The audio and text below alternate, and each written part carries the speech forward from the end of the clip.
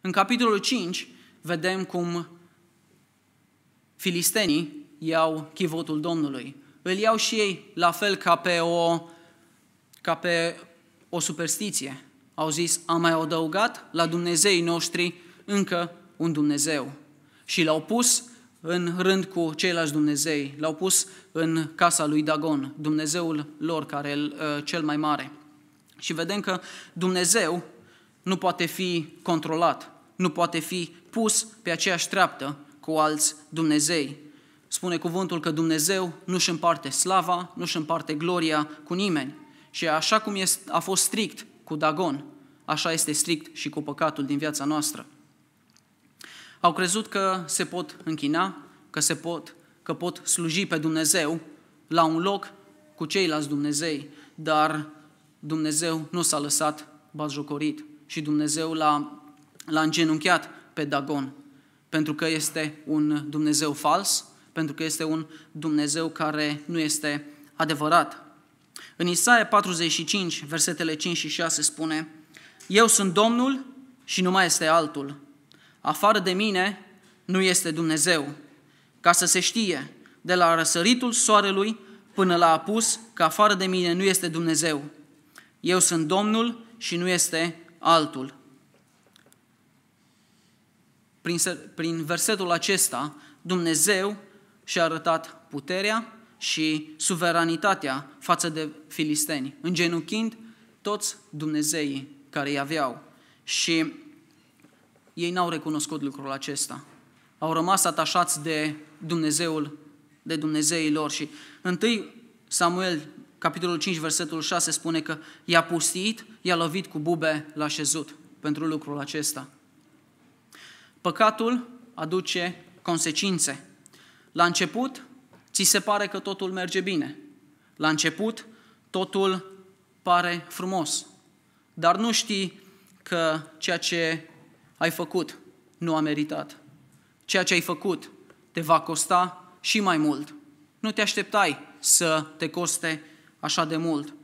Păcatul te duce mai departe decât ai vrut tu să mergi. Și vom vedea în, în pasajul următor cum au încercat filistenii să trimită înapoi chivotul Domnului. Cum au încercat filistenii să se închine Domnului au încercat să, să-l, să-l îmbuneze pe Dumnezeu. Au încercat să se închine lui Dumnezeu prin metodele lor.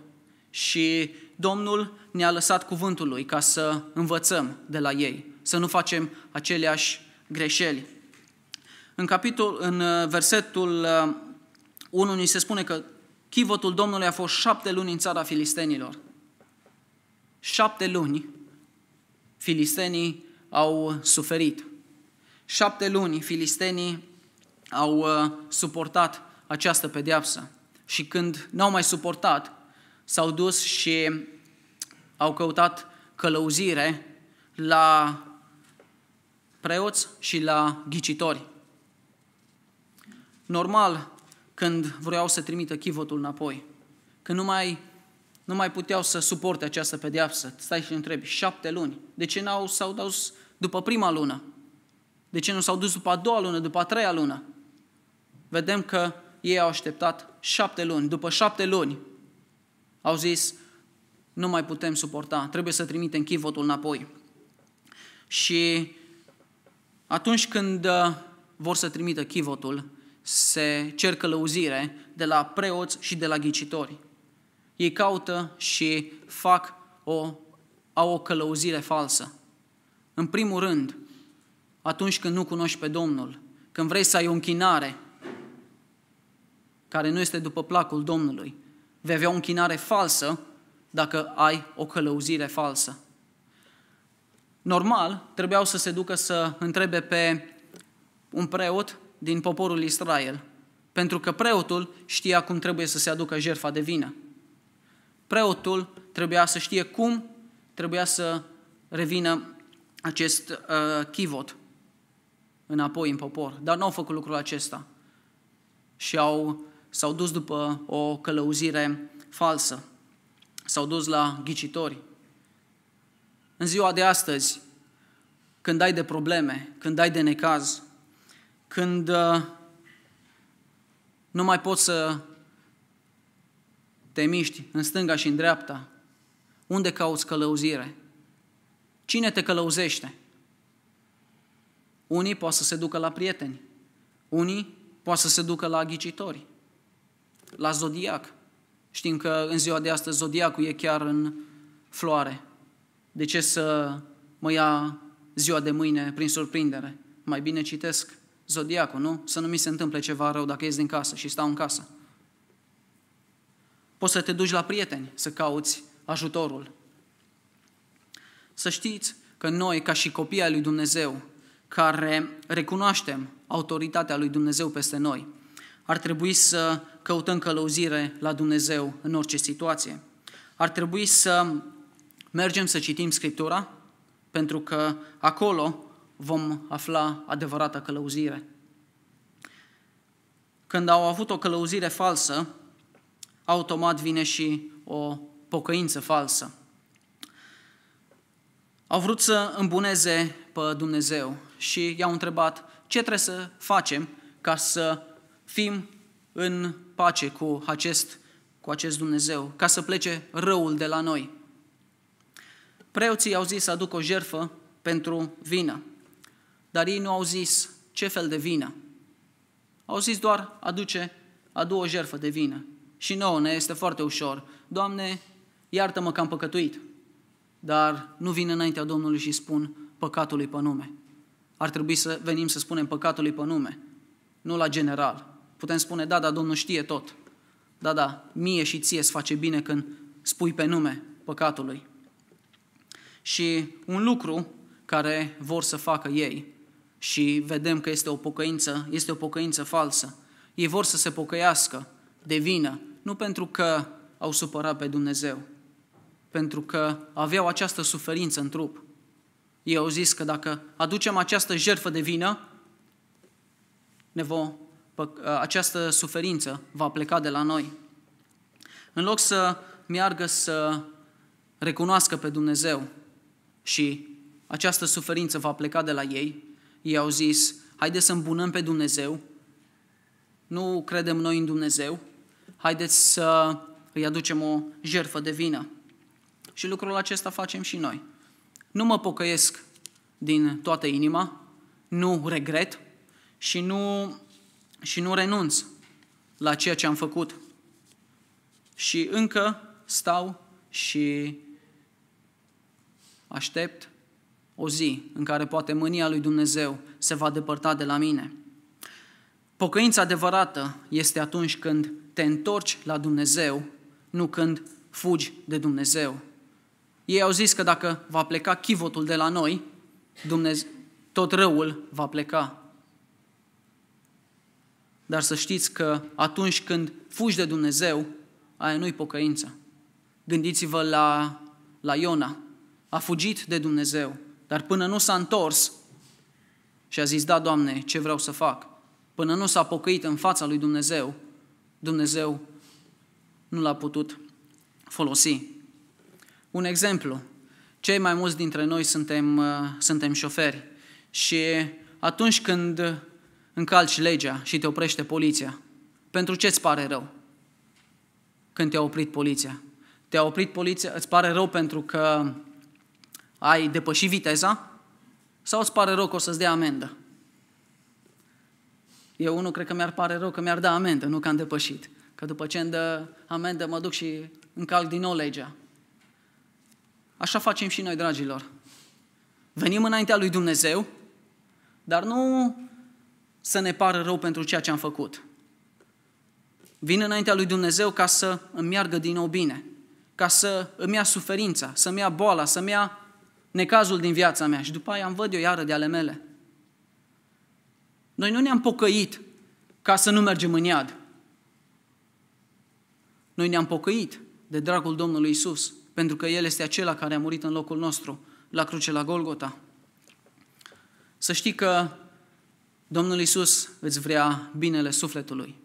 Și dacă n-ai făcut această legătură cu El, e timpul să faci această legătură, să te lași modelat de Domnul Isus și să nu te pocăiești de frica iadului, ci să te pocăiești de dragul Domnului Isus.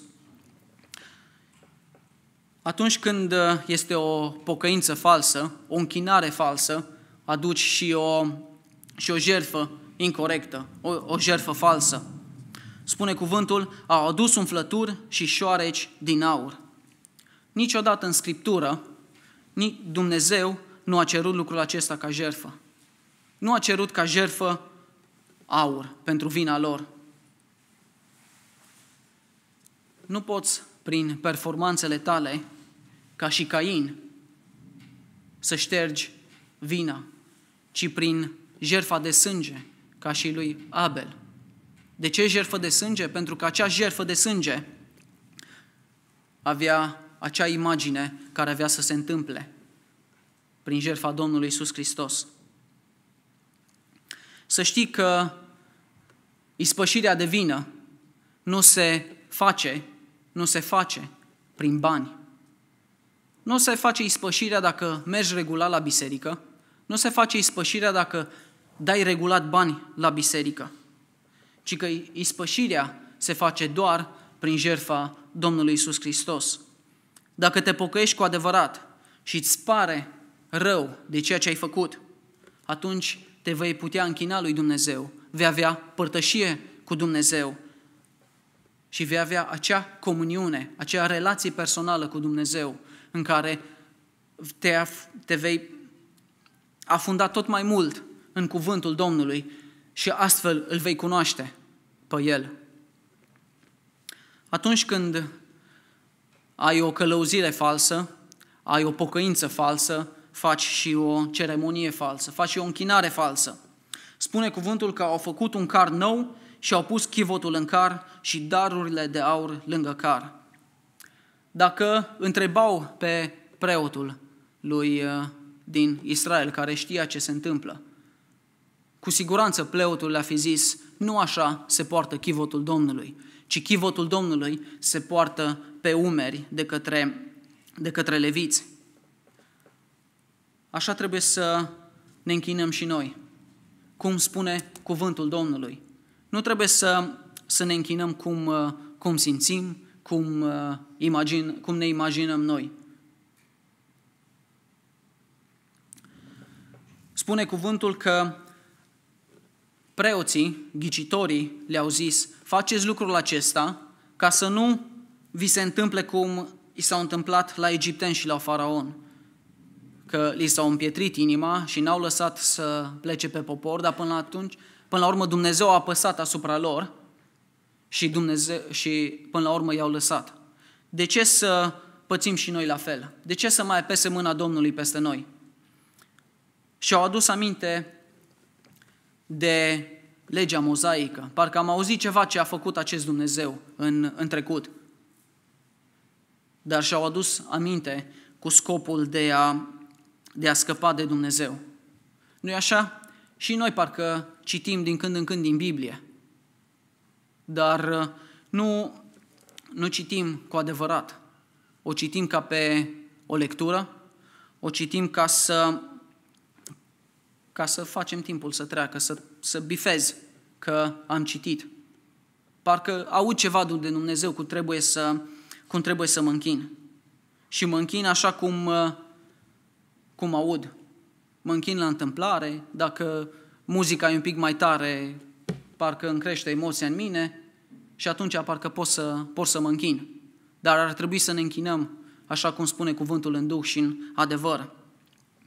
Atunci când uh, faci o ceremonie falsă, când te iei după auzite, vei avea o închinare debusolată, vei avea o închinare dezorientată. Și apoi începi și faci cum au făcut uh, filistenii. Filistenii au cerut semne, au cerut un semn imposibil. Din punct de vedere al uh, din punct de vedere firesc, din punct de vedere natural, nu putea să se întâmple lucrul acesta. Și ce, ce fac ei? Iau două, iau două vaci care abia au uh, fătat. Cei care știți, care străi la țară, știți că dacă ei vita despre, departe de puiul ei, dacă e un câine de puie, dacă ei orice mamă de lângă puiul ei, nu stă departe, nu pleacă unde vrei tu. Ce au zis ei? Haideți să luăm două vaci, să le înjugăm, două vaci care nu au fost niciodată înjugate.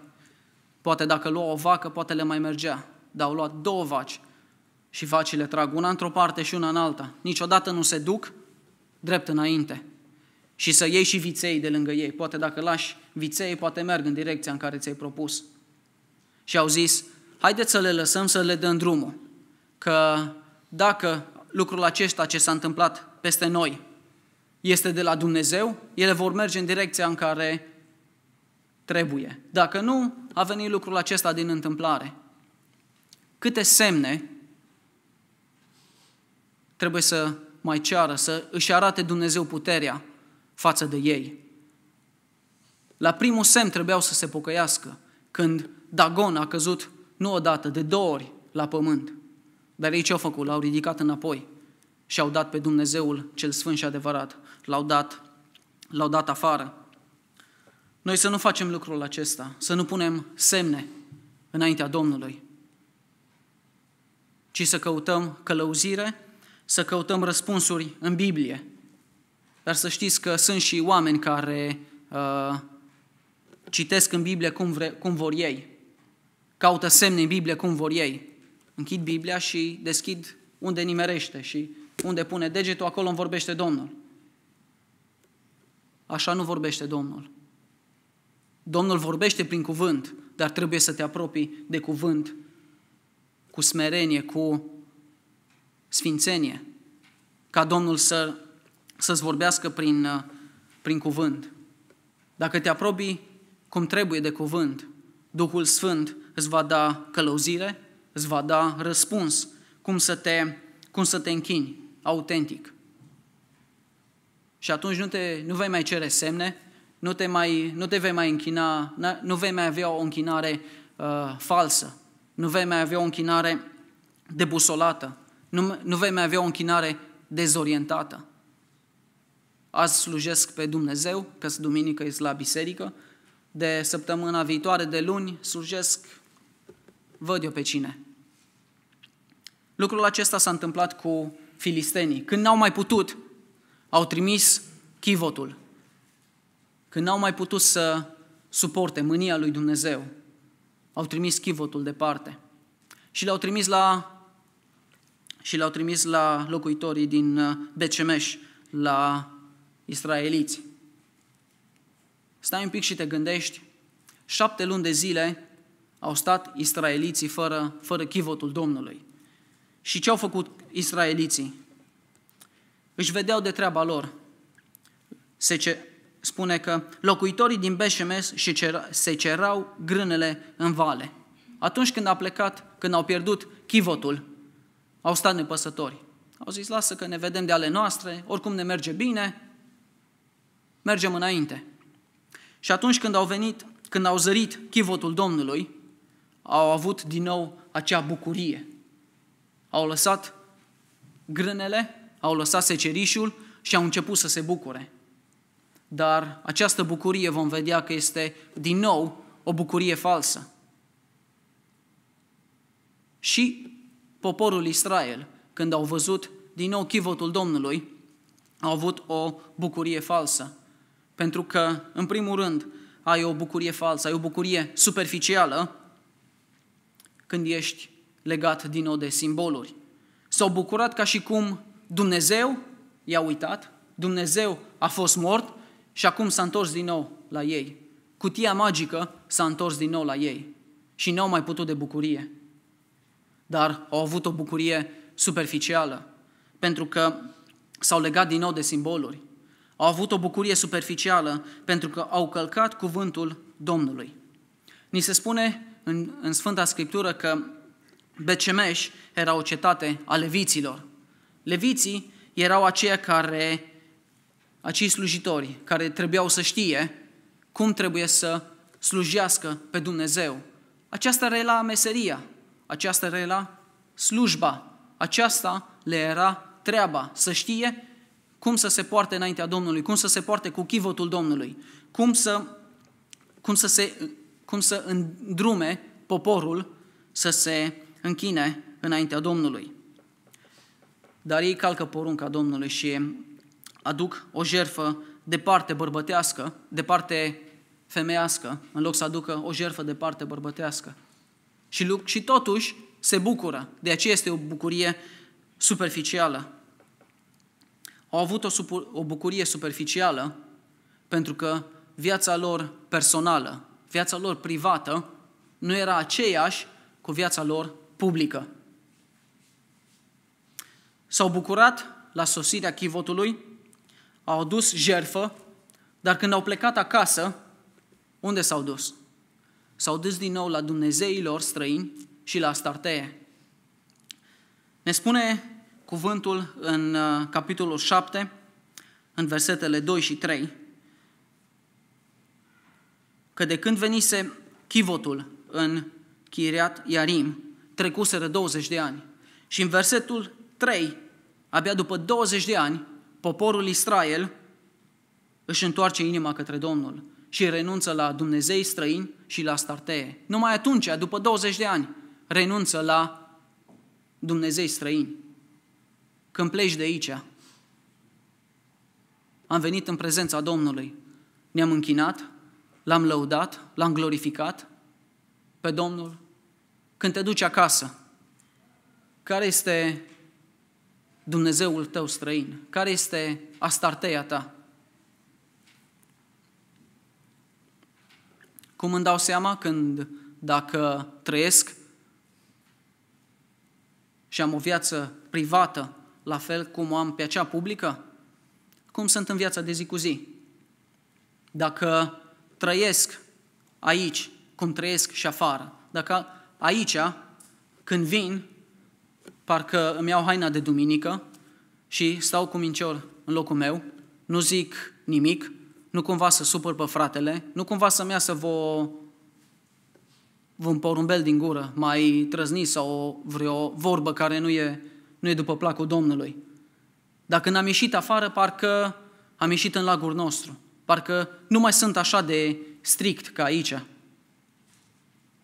Că aici mă mustră fratele, mă aude fratele și după aia mă arată cu degetul. Dar afară cine te arată?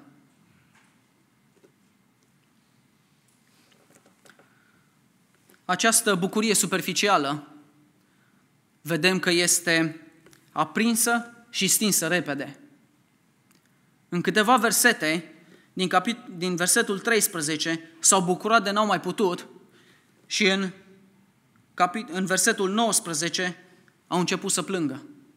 O bucurie care a ținut foarte puțin, pentru că nu s-au închinat, nu au recunoscut pe Dumnezeu, s-au apropiat de Dumnezeu. Spune cuvântul în versetul 20, s-au atins, în versetul 19, s-au atins și s-au uitat în chivot.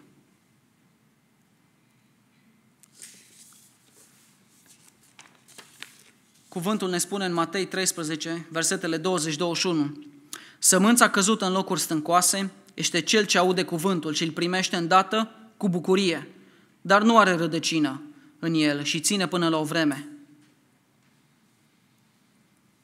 De ce? Pentru că primește cu bucurie, dar nu are rădăcină. Nu are esență. Atunci când se închină Domnului, se bazează pe emoții, se bazează pe lucruri, se bazează pe simboluri, nu se bazează pe Dumnezeu. Și acea bucurie ține puțin, ține o oră jumate aici și apoi când ai ieșit afară, nu mai este. Atunci când ai o bucurie superficială, vei avea și o închinare superficială. Și vom vedea că închinarea superficială se caracterizează printr-o închinare ieftină. În versetul 14, poporul Israel se închină cu ce au la îndemână. Se închină cu ceea ce nu costă nimic, nu au plătit nimic. De ce să se ducă să aducă animale de parte bărbătească? De ce să se strofoace? De ce să cheltuiască?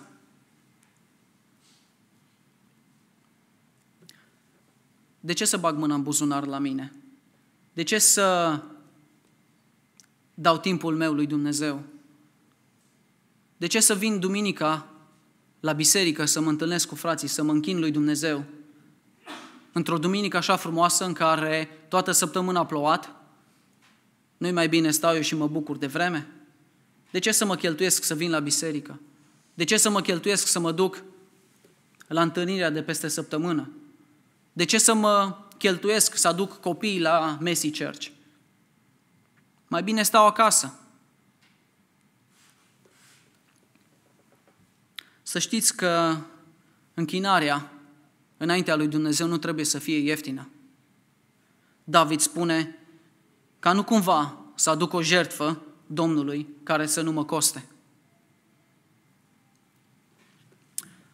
Închinarea superficială este caracterizată prin închinarea ignorantă.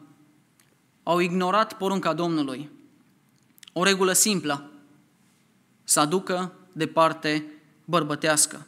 În Levitic 1, versetele 3 versetele și versetul 10 spune că trebuie să aducă din part, o jertfă de parte bărbătească fără cusur.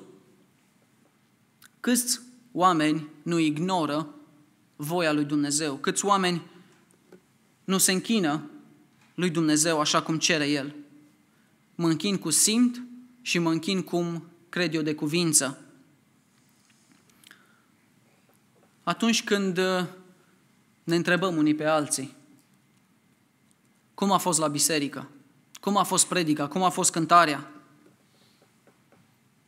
Noi spunem, bine sau nu mi-a plăcut. Nu? De când închinarea este văzută prin ochii mei. De când caracterizez eu închinarea Domnului dacă e bună sau nu e bună. Poate mie mi-a plăcut. Ție nu ți-a plăcut. Care are dreptate? Are dreptate cuvântul Domnului pentru că El este acela care ne spune cum trebuie să ne închinăm. Nu este de datoria mea și de datoria ta să-i spui lui fratele care n-a venit la biserică sau lui sora, nu mi-a plăcut cum s-a cântat astăzi. Am cântat cântările, iară, iară și fratele, iară, iară ne-am rugat numai doi frați, nu mi-a plăcut. Haideți să nu pierdem din vedere, să nu fim ignoranți de ce am venit în locul acesta.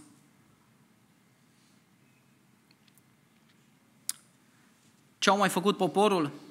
Au adus o închinare împreună cu jerfele Dumnezeilor străini. În versetul spune, 15 se spune că au adus jertfa filistenilor, lucrurile de aur, împreună cu vitele. Le-au pus toate la oaltă pe piatra cea, pe piatra cea mare. Aș dori să fim cu băgare de seamă cum aducem jerfa, ce punem lângă jerfa noastră înaintea Domnului. Și apoi să nu fii cu surprins că Dumnezeu te va lovi cu sfințenia Lui. Să nu fii surprins că, ai, că nu-ți merge bine, că ai boală în trup. Și au mai făcut un lucru. Au făcut, au avut o închinare obișnuită. Au făcut o închinare fără băgare de seamă. Scriptura spune că, așa cum am spus, doar leviții și atunci numai o parte din leviți aveau voie să umble cu lucrurile sfinte. În numeri, capitolul 4, de la 15-20, ni se spune că doar Aron și fiii lui să acopere chivotul și lucrurile sfinti, sfinte. Și numai fiii lui Chehat să vină să le aducă, dar să nu se atingă ca să nu moară. S-au apropiat cu ignoranță și superficialitate față de chivotul Domnului. și de aceea au murit, s-au mândrit. Acum este ocazia. Haideți să punem mâna pe chivot, haideți să ne uităm ce este în chivot. Că numai alți leviți aveau voie. Ne mândrim cu ceea ce facem, ne mândrim cu ceea ce suntem și nu ne închinăm Domnului așa cum ar trebui. Spune 1 Corinteni 10 cu 31, fie că mâncați, fie că beți, fie că faceți altceva, să faceți pentru slava Domnului. Să nu facem lucrul acesta din obișnuință. Să mulțumim Domnului pentru toate lucrurile. Pentru că scopul închinării este să te întâlnești cu Dumnezeu, să ai părtășie cu Dumnezeu și să te bucuri cu Dumnezeu. Chiar și atunci când mănânci, chiar și atunci când faci orice lucru, trebuie să-l facem prin Dumnezeu. Și au o pocăință superficială. Și la fel ca și filistenii au o pocăință superficială, au o pocăință falsă. Ei nu plâng că i-a lovit Dumnezeu. Ei nu plâng că s-au purtat cu Dumnezeu așa cum s-au purtat, ci plâng pentru că i-a lovit Dumnezeu. Și exact ca și filistenii, vor să trimită chivotul departe de ei. Spune versetul 20, Cine poate sta înaintea Domnului, înaintea acestui Dumnezeu Sfânt? Pot spune, cine poate sta înaintea unui Dumnezeu așa de sfânt, așa de strict? Să știi că Dumnezeu se revelează, se manifestă întâia dată prin sfințenia Lui și apoi prin dragostea Lui. Să știi că sfințenia este antidotul pentru superficialitate. Poate nu vrei un astfel de Dumnezeu inconfortabil, care îți spune ce să faci și cum să te porți înaintea Lui. Poate de aceea nu citești Biblia, că nu vrei să afli cum să te porți în viața de zi cu zi, cum să te închini, cum să te raportezi la Dumnezeu. Vedeți că Dumnezeu nu ține seama că ba filistenii, ba poporul lui Israel au făcut ce au făcut. S-au închinat cum s-au închinat. Nu trebuie să țin seama cum se închină fratele, cum se închină sora, cum se închină cei din nu știu pe unde. Trebuie să țiu minte și trebuie să iau seama că Dumnezeu este același, Dumnezeu este sfânt. Nu mă, pro, nu mă pot apropia oricum. Și asta trebuie să fie învățătură de minte pentru mine, în primul rând. Au trimis chivotul la Chiarit Iarim. Și în versetul 1 vedem foarte simplu ce au făcut această familie. L-au adus în casa lui Abinadab și au sfințit pe fiul său Eliazar. Așa trebuia să facă și poporul. Trebuia să se sfințească, trebuia să se pocăiască și apoi să se apropie de, de chivotul Domnului. Acești oameni, în acest verset, au făcut mai mult decât au făcut și filistenii și poporul lui Israel. Au făcut din necunoștință, au făcut din ignoranță. Și eu și ei au, s-au închinat Domnului cu adevărat. Au sfințit pe un om și l-au pus să păzească chivotul. Pentru că nu oricine se poate apropia de Dumnezeu. Nu oricine și nu oricum te apropii de Dumnezeu.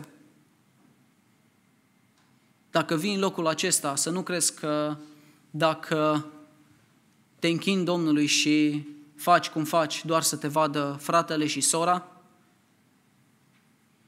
vei avea trecere înaintea Domnului. Ce învățăm din uh, închinarea filistenilor? Ce învățăm din închinarea poporului Israel? Dacă ai o călăuzire falsă, vei avea o pocăință falsă și vei avea o închinare falsă. De la poporul Israel învățăm că ai, dacă ai o bucurie superficială, dacă ai o pocăință superficială, vei avea și o închinare superficială. Cum trebuie să fie închinarea noastră? Trebuie să ne închinăm înaintea Domnului cu ajutorul Duhului Sfânt. Acțiunea Duhului în interiorul nostru ne face să ne închinăm cu buzele și cu viața. Duhul Sfânt ar trebui să fie liderul de închinare în viața mea și în viața dumneavoastră. Și astfel vom avea o închinare plăcută înaintea Domnului. Așa cum am văzut, nu orice închinare este primită înaintea Domnului. Și filistenii au încercat să se închine și poporul, care era poporul Domnului, care te așteptai să știe cum să se închine înaintea Domnului, cum să vină înaintea Domnului. Te așteptai să știe cum să se închine. Dar au avut o închinare superficială, au avut o închinare falsă. Nu te baza că vin în locul acesta și experimentezi o închinare. Și Cain și Abel, amândoi, au avut aceeași dorință să se închină Domnului. Au avut experiențe, au stat de vorbă cu Domnul, dar o închinare a fost plăcută înaintea Domnului și o închinare nu a fost plăcută înaintea Domnului. Aș vrea să te gândești ce fel de închinare aduci înaintea Domnului. Cum te închini înaintea Domnului. Cum te bucuri. Dacă citești cuvântul, dacă te raportezi corect la cuvântul Domnului, pentru că Dumnezeu Poate ți se pare că acum o duci bine, chiar dacă vii regulat la biserică, chiar dacă în loc de muncă, chiar dacă ai sănătate, chiar dacă îți sunt copii sănătoși. Nu știi cât timp Domnul va mai îndura.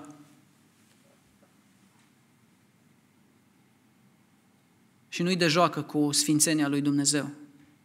Ar trebui ca lucrul acesta să nu să mă sperie, și să fug de Dumnezeu, ci lucrul acesta ar trebui să mă apropie de Dumnezeu. Aș dori ca în momentele care urmează să te apropii de Dumnezeu. Și dacă Domnul te-a cercetat, dacă Domnul ți-a vorbit, roagă-te să te ierte. Că atunci când vei ieși afară, viața aceasta publică care e aici, să ai aceeași, aceeași viață publică și în viața ta privată. Să nu fii diferit. Pentru că cei din jurul tău cu siguranță vor vedea schimbarea. Și când vei vrea să le spui despre Dumnezeu, cum ar trebui să se închine lui Dumnezeu, îți vor zice nas. Tu, mă, care înăuntru ești una și afară ești alta? Mai bine stau eu cu ce știu. Haideți să cerem Domnului iertare și să ne închinăm înaintea Domnului, să-i cerem Domnului uh, îndurare peste viața, viețile noastre și Domnul să, să fie lăudat și glorificat pentru că încă o după masă am avut această binecuvântare, acest har să învățăm din cuvântul Domnului cum trebuie să ne raportăm la Domnul. Amin.